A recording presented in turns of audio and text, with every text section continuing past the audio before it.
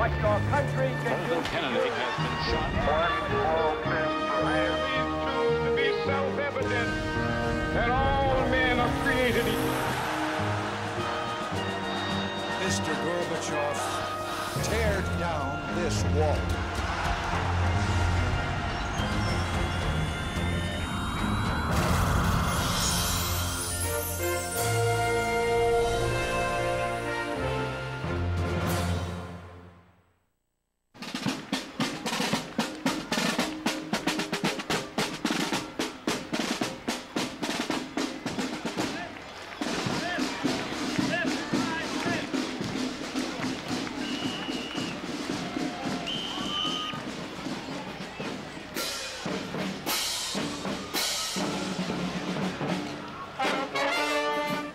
Transforming events of the 20th century touched every city and small town in America.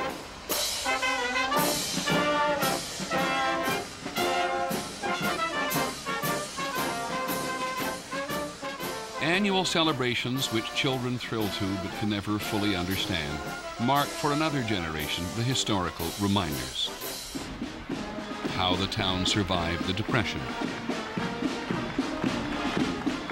how older people who walk among us unnoticed every day save democracy in the world.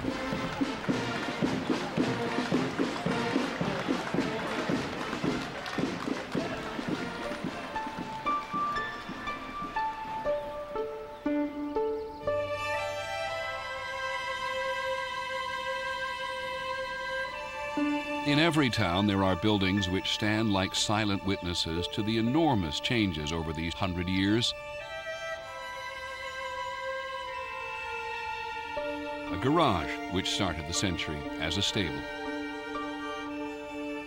When the Model Ts became available, we could scratch together a hundred bucks and get a secondhand Model T. Schools, which today teach computer skills to every student, used to teach shop to the boys and typing to the girls. A school teacher said, just learn all you can about secretarial work. We can't expect women to get ahead in business. In some places, hometown coffee shops for more than half the century served whites only. People's attitudes had to be changed. And all it was was the color of your skin, for Christ's sakes. It was the color of your skin that, that, that made the difference. Memorials along American main streets commemorate those who died on the European battlefields of World War I. Such terrible scenes. You grew up very quickly uh, in a uh, surroundings like that. It was no longer freshman studies. It was uh, the real world. From almost every hometown train station, men left for World War II. When your husband becomes an officer, you're an officer's wife. And you do not show any emotions when they go overseas. You hold it back no matter what. No crying. And we did that.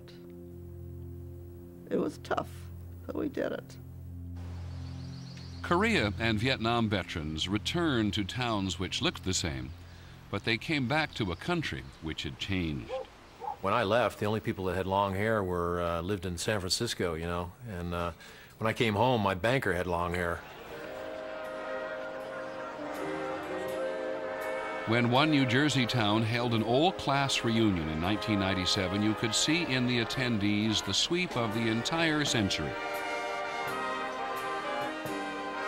There were those who remember when the electric light was new, and those who were born after man walked on the moon.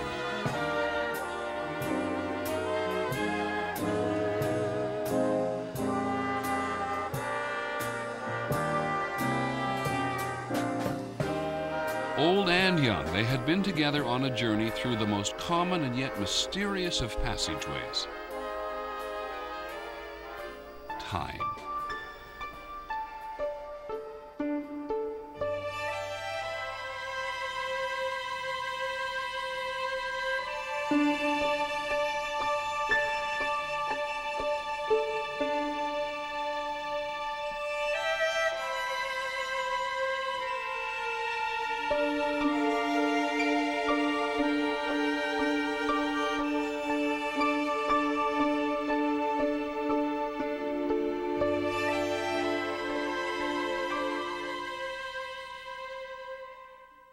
Unlike previous centuries where leadership was defined by royalty and other rulers, the 20th century, more than any other, was shaped by the will and actions of the common man.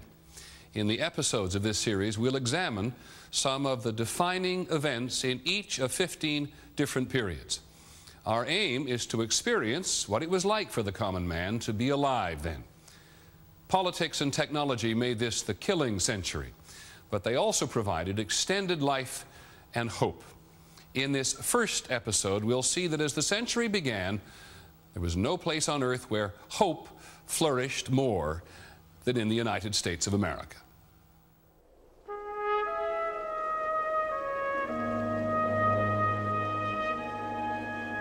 In 1900, in the countries of Central and Southern Europe, tens of millions of people were trapped in miserable lives. They were starving and uh, things were real tough because when my father was a, a young boy at 12 or 13 years old, he was sent to a family in Cairo, Egypt, become a vassal. That's what they did with their sons. peasants. They never got paid. They never made a living. They lived in, in huts. The Jewish people certainly were poverty stricken. They didn't have a darn thing. My people came from peasants. My grandparents on both sides of the family came from Sicily. Uh, my mother's side of the family came from a, a town called Ciminna. In the small villages, what was there? Oppression and no food. One place held the promise of a better future. My mother and father, they heard about America from others, and they knew that America was heaven. It was once in America, all problems would be solved. There would be food, there would be freedom, there would be no persecution.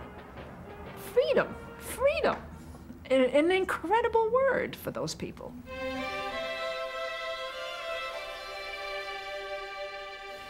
This country is in a state of unexampled prosperity. We are furnishing profitable employment to the millions of working men throughout the United States. By 1900, the United States leads in every major industrial product. I mean, we're producing more steel, we're producing more machine goods, textiles. The United States has one third of all the railroad trackage in the world. For the first time in human history, people can move over land swiftly, easily, reliably. The average American lived longer was better fed and better paid and had greater access to education than the average citizen anywhere else on earth. This is the great land of opportunity. No matter how low uh, you may be born, no matter how humble you may be, you can uh, rise to the top. The sky is the limit. On the eve of the new century, the sense of boundless possibilities also ignited an explosion of technological innovations that would have profound impact on 20th century life. Thomas Edison's electric light bulb and phonograph, Alexander Graham Bell's telephone. Tens of thousands of tinkerers across America were trying to invent the future. Among them were two bicycle mechanics in Dayton, Ohio. Orville and Wilbur, they, as young boys, were interested in flying. They would sit on the porch and watch the birds. And the neighbors all around us say, I don't know what they think they're going to do, why they will never make an aeroplane. Mabel Greep and her sister Lorene lived next door to the Wright brothers. Well, my father found out some way that they were going to try have a trial flight. So we got in the Surrey and we drove out to Huffman Prairie. I can hear Dad turn more than once and say, Look, are you all paying attention to this? Now listen to me. You're going to remember this till your last day. When that plane took off the ground, people were speechless.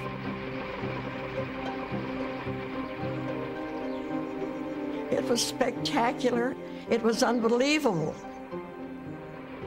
One of the oldest dreams in human imagination had come true sustained flight in a powered aeroplane. The United States was without question the most inventive nation in the world in that period. It is comparable in its creativity to the Renaissance in Italy, for example, uh, to the period of Elizabeth in English history, the Shakespearean period.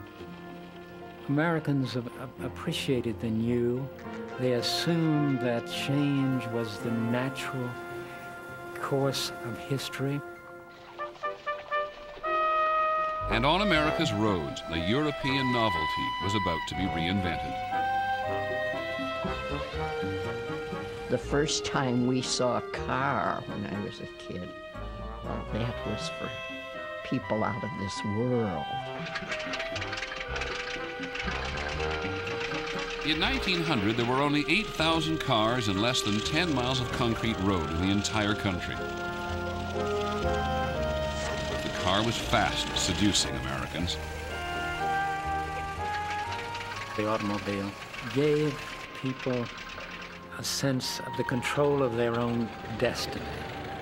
That is, behind the wheel, out on the road, you decided where you were going, what you were doing. You had a machine at your control. But early cars were fantastically expensive. The Artsberger, made in Pittsburgh, and the Pierce Arrow were really toys for the rich people.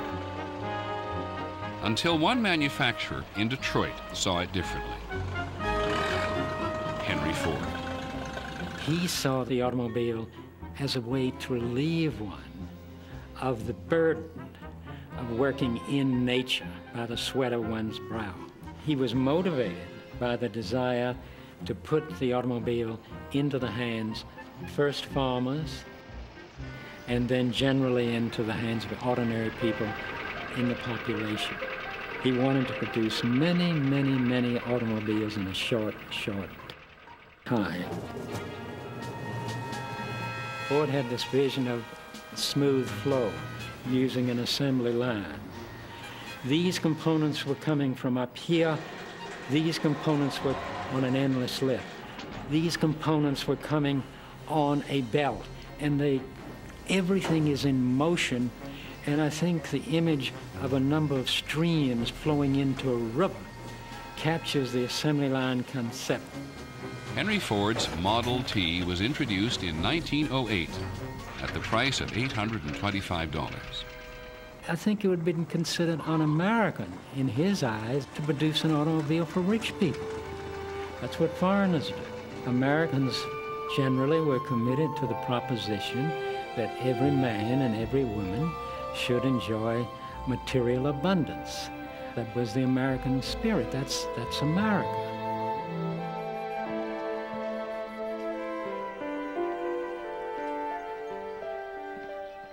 It was the promise of material abundance and freedom which drew more than 13 million impoverished Europeans to America between 1900 and 1914.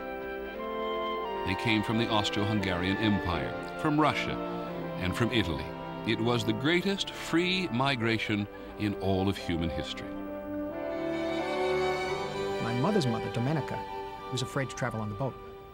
And the only way they got her on the boat was to, her brother tricked her he went on the boat with her. He said he was going with her. And at the last minute, she, he she turned away and he left. My mother came by herself through Siberia. She got to the coast and got on a boat.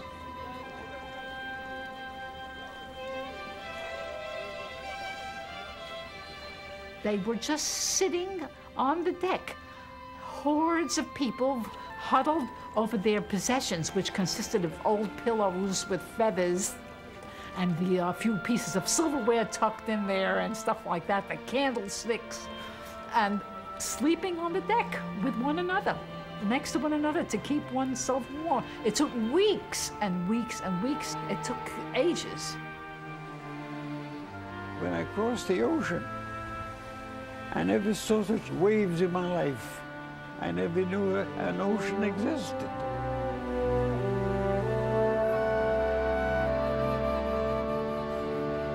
Approaching the New York Harbor, the Statue of Liberty was there, and it gave me a free feeling, feeling of liberty, a feeling of a new nation, a feeling of a new hope for a beautiful life.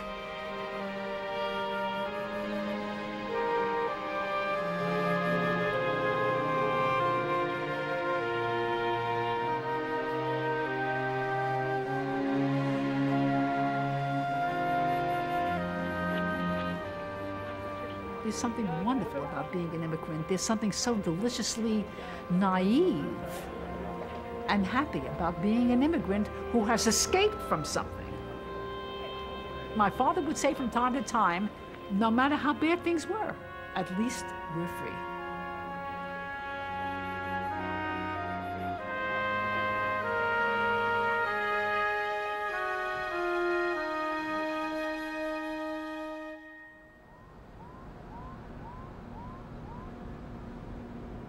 In Pittsburgh, Pennsylvania, it was said prosperity was measured by the thickness of the soot in the air.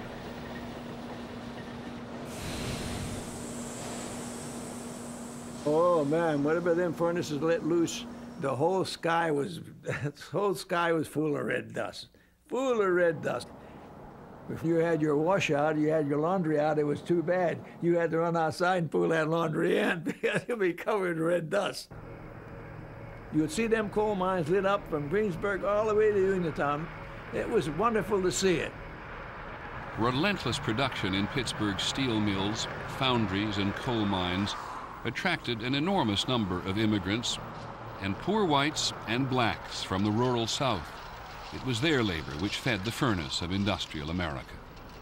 You had to pick everything up. You had to move everything by hand. No lunch breaks of any kind. You worked and you had a sandwich in your hand. If you had to go to the restroom, boom, back right away. They timed you. Well, you get home at night, you couldn't lift your arms up. I remember this. Oh, I remember this distinctly. My, my father would come home and say to my mother, rub my arms a little bit, because they were picking up. There was no, uh, it was all mule work. I had two uncles that worked in the mill. It was dangerous. No safety precautions were in the mills. You could walk in the mill and see people with one arm, one leg. Uh, you had an accident in the mills almost every two days, but nobody did anything about it.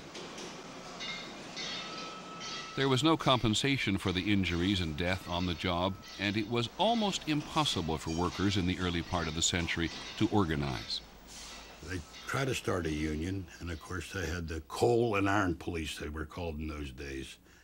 And they would bust a lot of heads, and a lot of murders were committed, and a lot of, oh, a lot of things that uh, you daresn't say too much. If you worked in a mill, if your boss said something to you, that was it, that was the law. Industrial work involved six days a week, 12 to 16 hours a day. The daily wage, barely $2. Children, too, were made to work, two million of them across America, some as young as four. They did not complain as adults tended to do. Employers liked to think of them as happy elves. E.L. Doctorow wrote about child labor in his novel of life in the early century, Ragtime. They were more agile than adults, but they tended in the latter hours of the day to lose a degree of efficiency. In the canneries and mills, these were the hours they were most likely to lose their fingers or have their hands mangled or their legs crushed. In the mines, they worked as sorters of coal and sometimes were smothered in the coal chutes.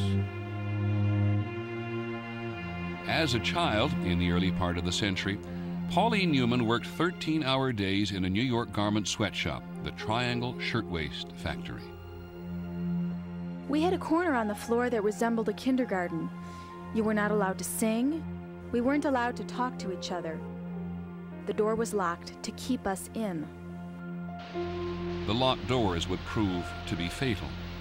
On March the 25th, 1911, fire broke out at the factory with an exit door locked on the ninth floor. Many workers jumped to their death.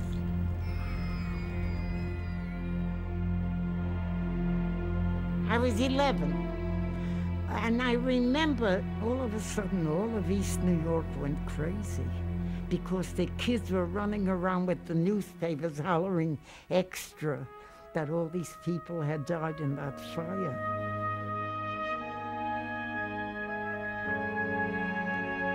146 workers died. There were no sprinklers inside the factory then. There had never been a fire drill. The tragedy outraged a public that had become increasingly aware of both the underside of a prosperous nation and the need for reform. The great reform movement of this period is called progressivism. It's a belief in progress. It's a belief that we can make things better, that you can have a more just, more democratic society. At the vanguard of social reform in this particular period were progressive women concerned about their own inferior status. When, when I was a girl, a woman didn't have rights to custody of their children. They didn't have the right to own property. A woman teacher didn't have the right to marry. She didn't have a right to live alone. She had to, had to board with a family. And if she started dating or she went out at night, she was fired. For progressives such as Frances Garrison Villard, suffrage, the vote for women, was the key to emancipation. Grandmother was a very strong militant suffragette. As a boy, I was more inclined to, to laugh at them and dismiss them. I didn't see any reason why they should have a, a vote. I would say I believe that it's still a man's world, and it would continue so for some time to come. Some suffragettes were mounting a violent campaign. In Britain, one of them was willing to die for the cause. In June of 1913, Emily Davison threw herself in front of the King's horse at the popular Epsom Derby.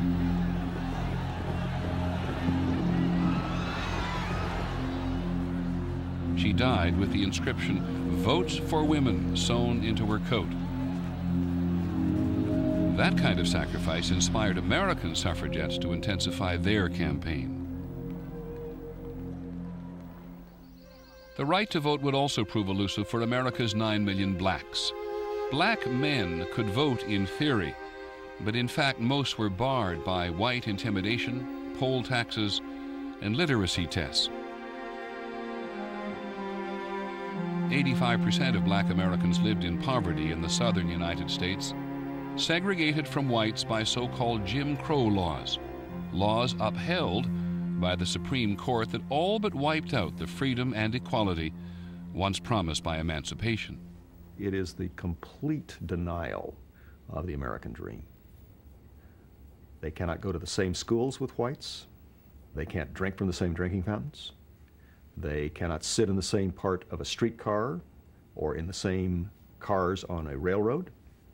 It's a horrible time. White politicians compete with each other in the South for being more, at least verbally, violent uh, toward, uh, toward African Americans, and uh, in many cases are encouraging or at least abetting actual violence.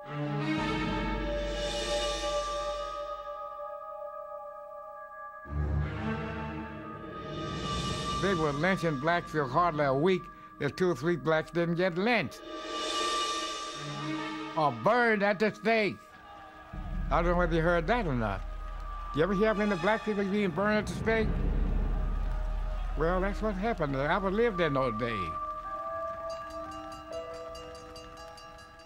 The most prominent black leader at the turn of the century, Booker T. Washington, accepted the notion of separateness. He asked blacks to better themselves through work and vocational training. From whites, he asked for help, not equality. Booker T. Washington was born a slave, called his autobiography Up from Slavery. This is a man who has pulled himself up by his own bootstraps. And he takes the perspective that it would be foolish to challenge what's being done to them too soon and too openly. But there would be a challenge. In 1905, the black intellectual W.E.B. Du Bois urged a new struggle for full political and social equality. Entrenched resistance to such change would make civil rights, as Du Bois predicted, the major social issue in American life for the rest of the century.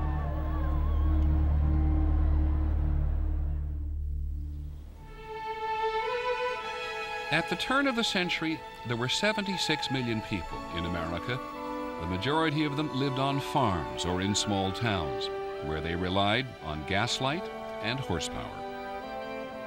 Every morning the milkman came, and the cream at the top would rise, and if you got there early, you could take a lick of the, of the cream before your mother found out what you were doing. It was the great period of the front porch. In the evenings after dinner, the family would uh, assemble on the front streets. Sometimes the neighbors would pass and we exchanged bows. We played games, I Spy and Run Sheep Run, and Lemonade, What Was Your Trade? Tennis rackets were hefty and the racket faces elliptical. Women were stouter then. They visited the fleet carrying white parasols. Everyone wore white in summer. That was the style, that was the way people lived. But the rhythm of American life was quickening in the early years of the century as more and more people headed for the cities, for the bright lights and the myriad opportunities. I was four years old when I came to Chicago. It was uh, a real uh, magical thing to see the streetcars moving up and down and the street filled with people all the time and great activities going on. And I recall looking at it with wonder. The cities, New York City more than most, were centers for the latest engineering and technological marvels. The skyscraper is born in that time, a completely new building form, a completely new idea that a city could grow up instead of out. It's an amazing sight to me. I saw the Flatiron Building. I saw the Woolworth Tower is a very stunning view. How a, a building can pierce the sky. And underground, there was a new way to travel. In New York City, the subway was inaugurated in 1904. One could ride the subway to the outskirts of the city, where the power of science and technology was harnessed for pursuit of a good time. Tens of thousands of New Yorkers went every day and night to Coney Island.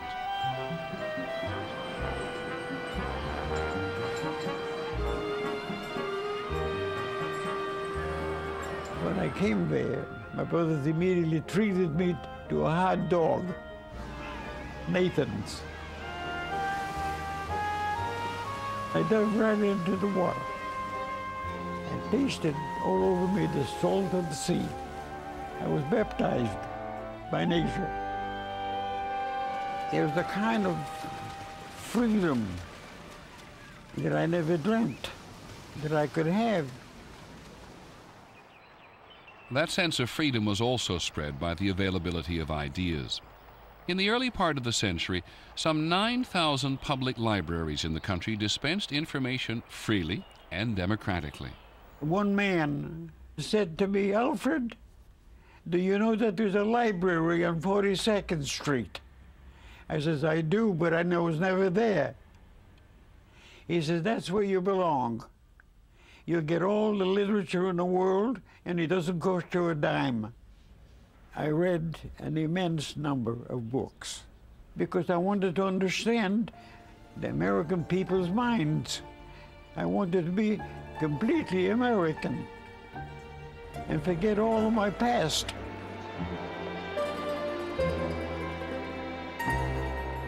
Immigrants themselves bringing new languages and customs were making the culture of the city just that much more diverse.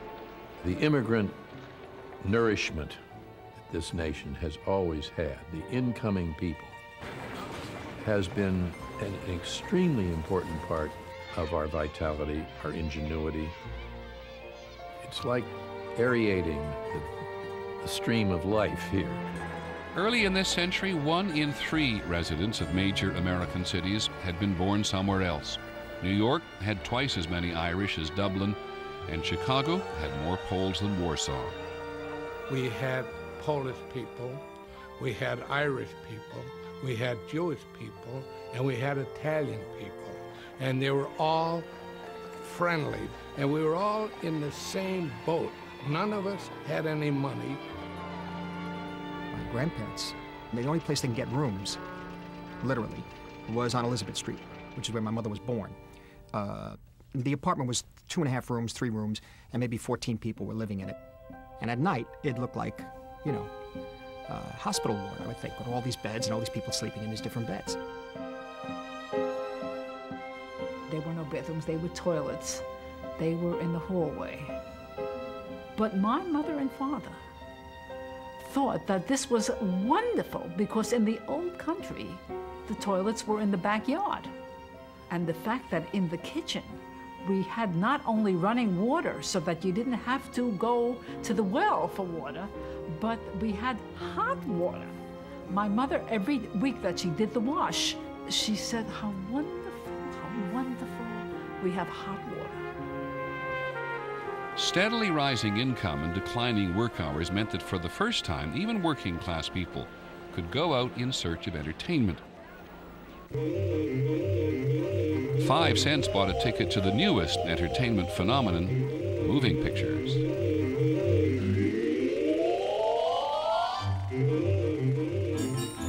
We were so taken with the, the nickel shows.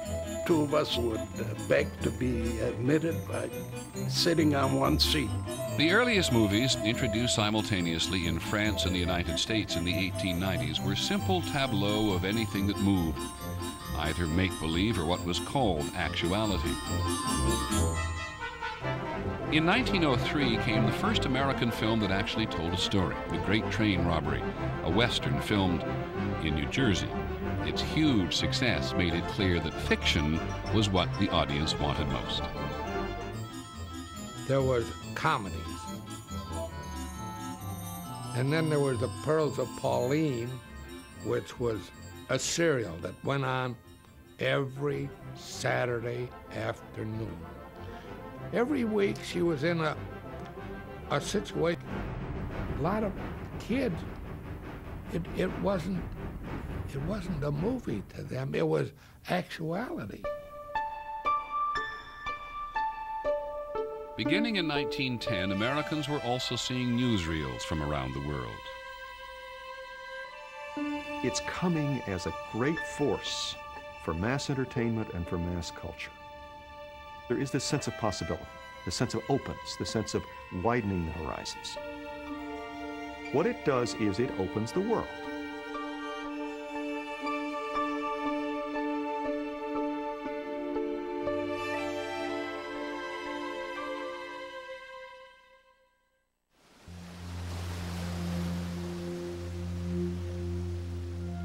In Havana Harbor on February the 15th, 1898, a mysterious explosion sank an American cruiser, the USS Maine. 266 officers and sailors were killed.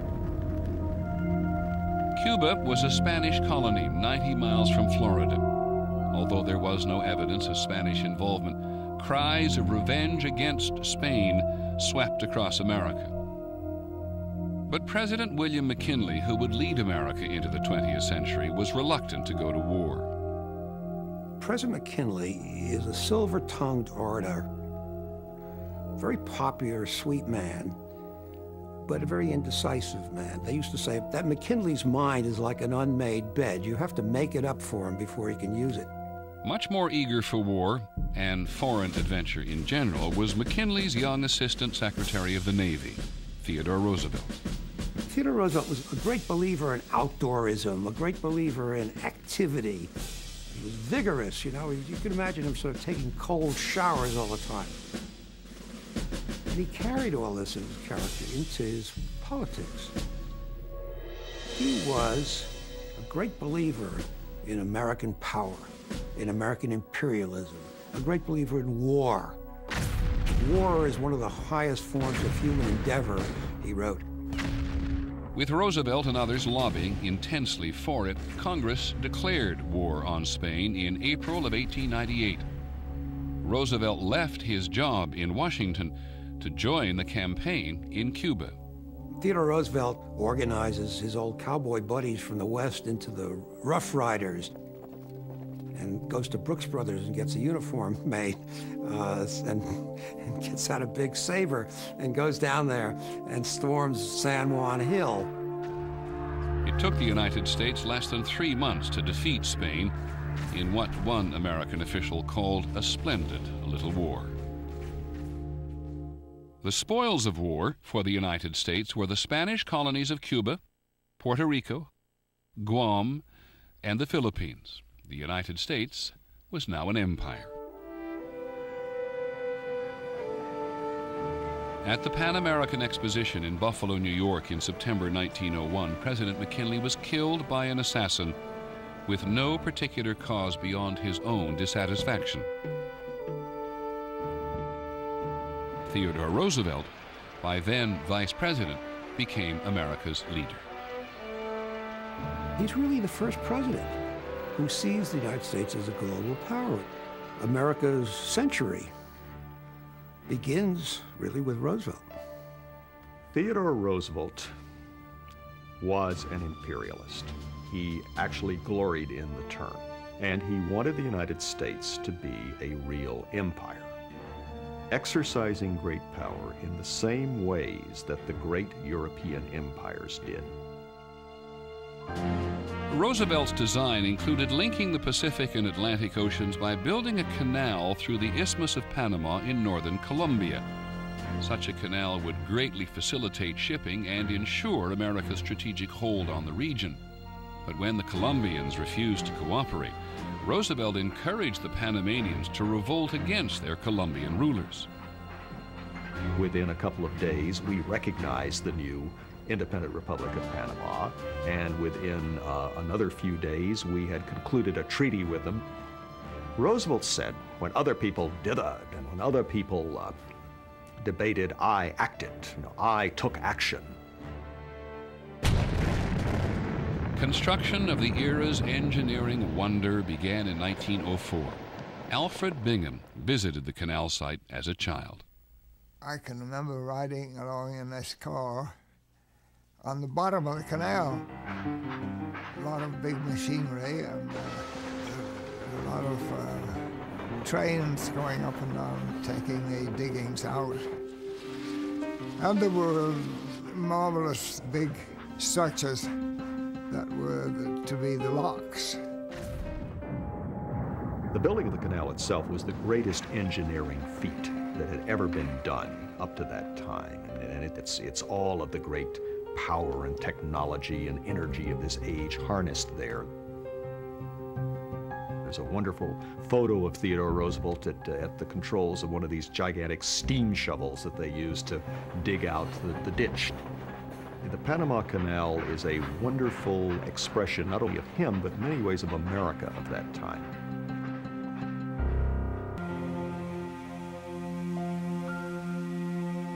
In mid August of 1914, Americans celebrated the opening of the Panama Canal, a triumph of both technology and man's will over nature. An engineering feat as impressive as the pyramids the canal would also become the symbol of America's entrance into the international arena at a time when the world was becoming more dangerous. That same week, the great powers of Europe were headed for a violent encounter that none of them could even imagine, promoted by German ambition. Early in this century, Germany had emerged as the industrial power in Europe, rivaling Britain and already mightier than France, the Austro Hungarian Empire, and Russia. But as Europe's youngest empire, Germany wielded little political. Germany is really a great power and a leader of nations and wanted at least to be equal to others not be considered less important than other powers like England. Under Kaiser Wilhelm, Germany was training the best land army in the world, five million men, and had begun building a powerful navy. To build that navy required nerve because it was a direct challenge to Britain. And that conflict between Britain and Germany is at the heart of international affairs before 1914. Britain responded by launching the most powerful warship on Earth, the Dreadnought. It was a revolution in naval warfare. It was an all big gun ship, big 12 inch guns. Also, the uh, dreadnoughts had the latest technological equipment on them, had electrical equipment, for example. Once the British had a dreadnought, the Germans had to have a dreadnought, etc., etc. The tensions fed by an arms race and rivalry among the major European powers finally came to a head in June of 1914, when Archduke Franz Ferdinand, the heir to the Austro Hungarian Empire, was assassinated by a Serbian nationalist in Sarajevo. There was no reason why the assassination of Franz Ferdinand would signal the collision of fundamental interests. It was a matter of choice, and that choice was made in Vienna and in Berlin to make it more than an assassination. In late July, with Germany's support, the Austro Hungarian Empire declared war on Serbia. And within days, all the great powers of Europe, bound by their various alliances, were at war with each other. I was at a camp, a boys' camp in New Hampshire in 1914 when war was declared, and it was a shock to a very peaceful world. But nobody took it too seriously.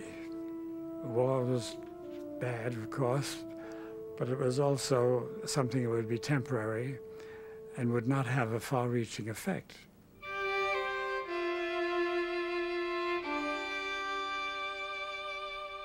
But this war would be more catastrophic than any which had gone before, one in which technology, the engine of progress, would be used in the slaughter of millions. A war that would sow greater hatred and result in far greater consequences than anyone could imagine in that summer of 1914.